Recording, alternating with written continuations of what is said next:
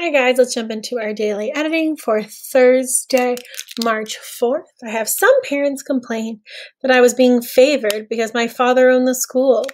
But people was always surprised that despite our rivalry, rivalry, we were all good and not jealous of each other. One, this was. I know I even tripped over that. It should be were. Okay got a match, favored, complained, surprised.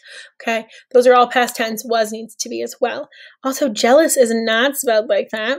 J E A L O.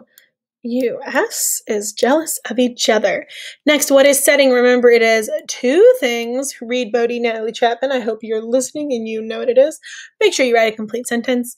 And then the word parents. Is it an adjective, a conjunction, a verb, or a noun? Think about it, okay? If you guys have any questions, please let me know.